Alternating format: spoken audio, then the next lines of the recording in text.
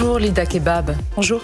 C'est votre grande interview sur CNews et Europe 1. Bienvenue à vous. Vous êtes policière, secrétaire nationale du syndicat Unité. Vous êtes l'auteur du livre Gardienne de la paix et de la révolte. On va en parler à la fois de la paix et de la révolte.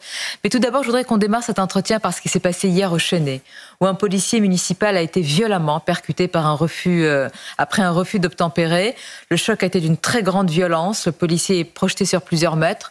On va entendre l'une de ses collègues hurler, choquée après ce qui s'est passé. Je préviens que la vidéo peut euh, évidemment heurter ou choquer certains d'entre vous. Regardez et écoutez.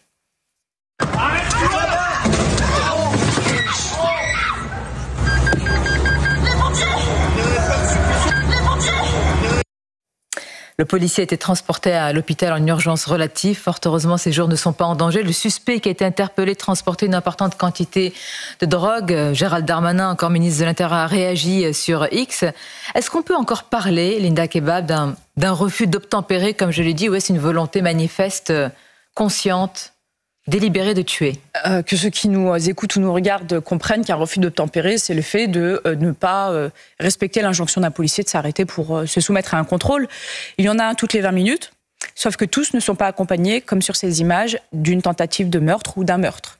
il y a quelques jours, nous rendions hommage à un gendarme, M. Comines, et puis euh, aujourd'hui, on a affaire à un miraculé. Ce policier municipal est un miraculé. Absolument. Compte tenu du choc. Et absolument. Euh, je veux dire, le, bruit euh, qu'on entend, est malheureusement pour nous, est, familier parce que beaucoup de policiers ont connu sur la voie publique des collègues qui ont été percutés. Et évidemment que lorsque l'on parle à chaque fois des tentatives d'homicide sur les forces de l'ordre, les policiers, les gendarmes, les policiers municipaux, les policiers nationaux, à l'occasion d'un refus de tempérer, il y a, je pense, dans l'imaginaire collectif quelque chose d'un peu fictif, quelque chose qui manque de concret. Et là, on voit clairement une voiture qui percute un homme, comme on l'a vu il y a quelques jours lors du drame euh, qui a coûté la vie à M. Comine, à ce gendarme. là, il faut que l'opinion publique se rende compte qu'un refus de tempérer, ce n'est pas anodin. Ce n'est pas euh, seulement euh, refuser l'injonction, non, c'est tenter par tout moyen de fuir à ses obligations, quitte à tuer la vie humaine qui demande de s'arrêter. Qu'est-ce que ça dit de la, de la personne, de l'individu? Je sais que le profil ne vous surprend pas. Il a été euh, interpellé avec une grande quantité de, stupéfiants. Il est euh, connu de services de police. Il a énormément, je crois, 17 mentions sur le fameux fichier euh, des antécédents judiciaires. Effectivement. Qu'est-ce que ça dit de sa manière d'appréhender la police aujourd'hui quand il fonce comme ça délibérément sur un agent? Eh bien, ça vient répondre euh, finalement à ces défaillances que l'on vient trop souvent dénoncer. C'est-à-dire que des refus de tempérer, je vous l'ai dit il y a quelques instants, il y en a un toutes les 20 minutes, toutes les 30 minutes. Tous ne font pas l'objet d'une tentative d'homicide. Beaucoup de personnes, même des personnes dites lambda, on rappelle quand même que le refus de tempérer est un délit, qu'il faut quand même se soumettre aux injonctions des policiers et des gendarmes. Mais néanmoins, on a parmi les gens qui commettent des refus de tempérer des personnes qui font demi-tour, qui tentent en tout cas de fuir, sans nécessairement euh, sciemment mettre en danger la vie aussi bien de ceux qui demandent de, de l'arrêt que les usagers de la route. Là, en revanche, on est sur autre chose. On est sur ces personnes qui ont peut-être peu d'intérêt pour la vie humaine, mais surtout qui s'inscrivent dans un parcours délinquant. Vous avez cité le fait qu'il avait 17 mentions dans son, non pas dans son casier judiciaire, mais dans les fichiers de voilà, police. La nuance est importante, c'est pour ça que oui, c'est très important. Précisons donc ça n'a pas entraîné condamnation. Écoutez, je ne veux pas radoter, mais je pense que ceux qui nous écoutent et nous regardent savent que euh, qui dit interpellation même en flagrant délit, qui dit enquête euh, qui euh, met en avant des faits impliquant euh, une responsabilité ne dit pas toujours condamnation. On a tout un process aujourd'hui judiciaire où euh, la condamnation n'arrive qu'en tout bout de chemin et malheureusement souvent trop tard. On est sur le parcours délinquant typique. Le parcours délinquant face auquel il n'y a pas eu de choc d'autorité, et notamment le choc, comme j'en appelle souvent de mes voeux, de ces peines d'emprisonnement très courtes, des, peines d'emprisonnement qui ne désociabilisent pas et durant lesquelles, parce qu'aujourd'hui le système pénitentiaire en France est aussi en faillite, eh bien durant lesquelles on pourrait, dans un euh, peut-être une utopie, apporter à ces personnes le choc nécessaire pour euh, éviter, en sortant, qu'ils ne soient pires qu'au moment où ils sont rentrés. Le mot que vous utilisez est important, euh, Linda Kebab, utopie. Vous dites utopie parce que là, il y a quelques jours, parce qu'on va parler quand même de la peine euh, que peut écoper, dont peut écoper cet individu, la question est posée car lorsque des policiers sont pris à partie dans leur véhicule, comme ce fut le cas l'an dernier lors d'une manifestation dite contre les violences policières, eh bien le coupable, qui est reconnu comme tel, il n'y a pas de doute, il a été reconnu par la justice comme coupable, eh bien il a écopé de 18 mois de prison avec sursis. Comment vous avez réagi quand vous entendez cela. Et je rappelle, euh, il s'en est pas pris à une voiture de police. Il y avait des policiers à l'intérieur qui ont vraiment eu peur d'être euh, lynchés. Oui, et c'est typiquement le genre de profil dont la peine avec sursis signifie souvent rien. Il peut y avoir des personnes pour lesquelles la peine avec sursis est un vrai coup de semonce qui les remettrait dans le droit chemin. Mais lorsque l'on a une personne qui se prétend, qui prétend en tout cas considérer que la violence est un acte légitime pour faire passer des idées politiques, moi j'ai tendance à utiliser le mot terreur dans ces cas-là puisque c'est finalement la méthodologie euh, qui, euh, qui, importe. Oui, quand vous faites passer la violence, l'action violente pour, pour euh, répandre vos idées politiques. Donc c'est un projet. J'ai pas d'autre terme. C'est un projet. la méthodologie, elle est délibéré. terroriste. Linda oui, bien sûr. Projet mais bien sûr, il y a un projet délibéré qui est assumé de ces personnes. Et ce sont des personnes pour qui la peine avec sursis n'est rien et elle est totalement insignifiante. Vous avez dit il y a quelques instants, on ne parle pas d'une voiture de police seulement qui a été dégradée. On parle de policiers qui ont été agressés avec des armes par destination, parfois avec des cocktails Molotov, des baramines, des, euh, des pavés, etc un policier qui a cru sa vie euh, et celle de ses collègues en danger et qui s'est senti obligé de sortir son arme. On imagine bien, même quand bien même il s'agit de policiers euh, formés, on imagine quand même l'impact psychique sur, sur ces agents. Et pourtant, à la fin, on dit à cette personne, vous êtes venu aujourd'hui, vous êtes convoqué par la justice et vous en ressortez libre avec rien. Le message qui est envoyé en un mot, c'est Le message, il est dramatique. Je vous dis très sincèrement qu'il est très mal accueilli euh, dans les rangs des forces de l'ordre, qui restent malgré tout loyalistes aux institutions. Néanmoins, pour l'opinion publique, je pense que beaucoup, je, ne m'avance pas trop en estimant, et, dans cette séquence politique qui est importante pour notre pays, il est temps peut-être de siffler à la fin de la récré.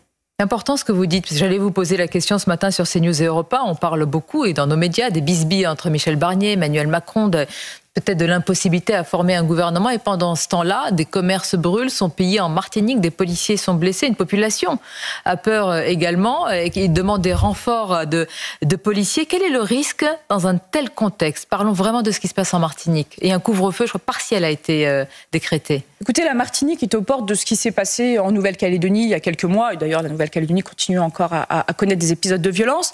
Il y a évidemment un sujet social et économique euh, Contre la dans les dromcoms qui, pour moi, je vous le dis très sincèrement, euh, est indigne de notre nation. On ne peut pas gérer les dromcoms avec l'éloignement philosophique qui est le paradigme qui est le nôtre. Il faut sincèrement apporter des réponses sociales et économiques aux populations qui sont euh, installées là-bas leur apporter un vrai projet républicain qui aujourd'hui est inexistant. Mais une fois qu'on a dit ça, on ne peut cautionner d'une aucune manière les violences qui sont exercées contre les forces de l'ordre. Et pas seulement des violences, mais des tentatives d'homicide.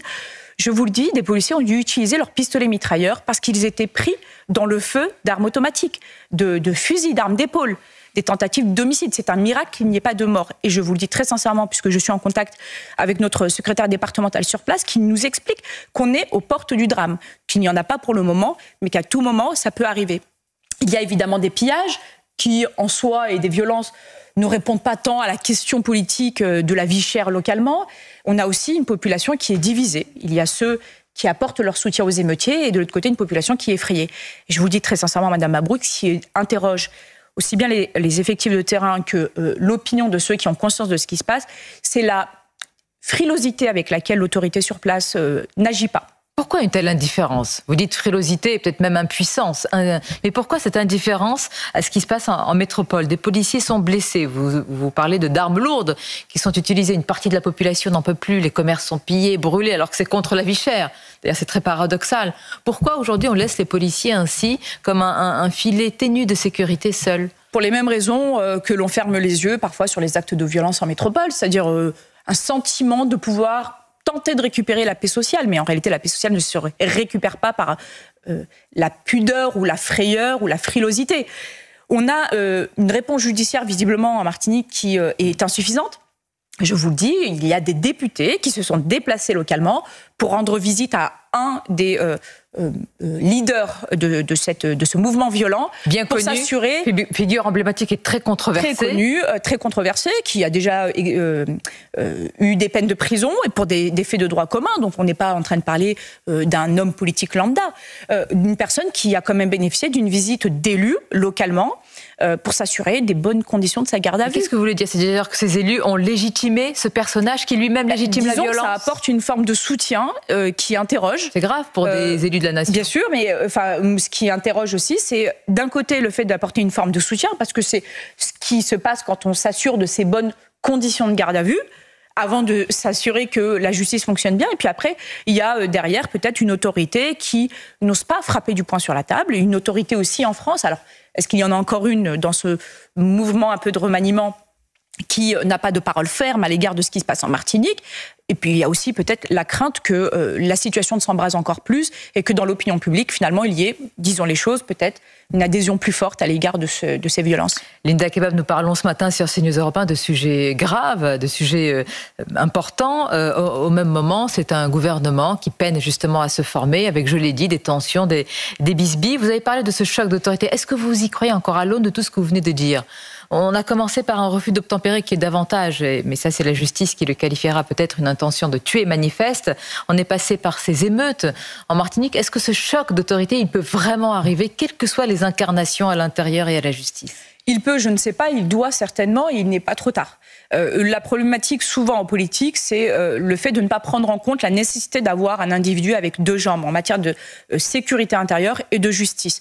On ne peut pas faire du en même temps malheureusement, c'est ce qu'on connaît un petit peu trop souvent, avec une forme de récurrence, où on va nommer euh, un homme à l'intérieur ou une femme à l'intérieur avec une certaine sensibilité politique et tous sont opposés euh, à la justice pour tenter de satisfaire un Là, petit peu tout Là, vous parlez évidemment de, ce qu'on a connu entre M. Darmanin et M. Dupont-Moretti. Ça, ça, les policiers, enfin, ils ont aussi leur mot à dire, si je puis dire. En tous les cas, ils n'en veulent plus, ils n'en peuvent plus. Et ça crée une forme d'incohérence. Je veux dire, quand vous avez à juste titre un ministre de l'Intérieur qui engage une parole de fermeté à l'égard, je donne un exemple qui me concerne et qui concerne ceux que je représente, les agresseurs de forces de l'ordre et la nécessité d'être ferme avec eux, et que dans le même temps, vous avez pas seulement pour les forces de l'ordre, mais l'ensemble de la société, une circulaire qui a toujours cours aujourd'hui, euh, qui date de Madame Belloubet, qui continue d'exister euh, sous Monsieur Dupont-Moretti, et qui dit que la peine d'emprisonnement ne doit être prononcée qu'en fonction de la capacité hôtelière des établissements pénitentiaires et que ça doit être la dernière solution.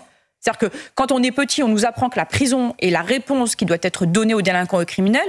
En France aujourd'hui, c'est la philosophie, c'est le paradigme. La prison est la dernière solution. Vous avez forcément une incohérence entre les deux. On a l'impression d'avoir une forme de DAU qui ne marche pas droit. Et au final, on a euh, dans l'opinion publique des interrogations sur le bon sens de l'action politique. Il faut aujourd'hui deux jambes qui partent dans la même direction. Dans une autre affaire ô combien emblématique et politique, l'affaire Naël qui avait entraîné des émeutes partout euh, en France. Je rappelle qu'après euh, un refus d'obtempérer, là encore, Naël a été touché mortellement par un tir policier. Évidemment, la mort d'un homme est à regretter et à condamner. Mais à l'aune aujourd'hui des procès verbaux, Linda Kebab, consultés par nos journalistes, notamment du JD News, il semble que la version des partis civils je mets quand même des, conditions et des nuances, se retrouve fragilisée sur certains points. Par exemple, sur le fait que Naël ait été frappé il n'y a pas de traces de coups. Je rappelle qu'à l'époque, l'avocat de la famille euh, de Naël avait parlé d'un assassinat. Avec un peu de recul aujourd'hui, qu'est-ce que ça vous inspire?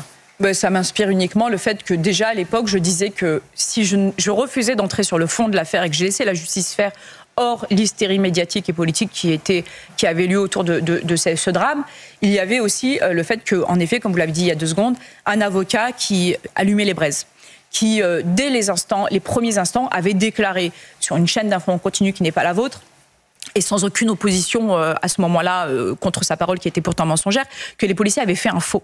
Or, les policiers n'ont jamais rien rédigé, puisqu'au moment des faits, Immédiatement, le policier est emmené à l'hôpital, puis dans les locaux de l'IGPN où il est désarmé. Et donc, il n'a jamais rien rédigé. Et pourtant, on a parlé d'infos, ce qui a participé à embraser D'infos et de policiers qui se seraient entendus justement pour une même version. C'est cela, ce qui est absolument faux pour le coup. Donc, euh, donc on a accusé les policiers d'être auteurs d'infos en écriture publique. On a parlé de, de coups qui avaient été euh, donnés. Évidemment, moi personnellement, j'avais l'intime conviction que ce n'était pas la réalité. Et vous ne le saviez pas à ce moment-là. Mais les mm. faits nous donnent raison. Mm. Euh, également l'intentionnalité, parce qu'en fait, toute l'affaire va tourner autour de l'intentionnalité du policier. On peut remettre en question peut-être la technique professionnelle, on peut remettre en question le fait que la technique professionnelle puisse conduire évidemment, éventuellement une mise en danger de soi-même, qui a ensuite un effet domino, un effet papillon et, conduit à un drame.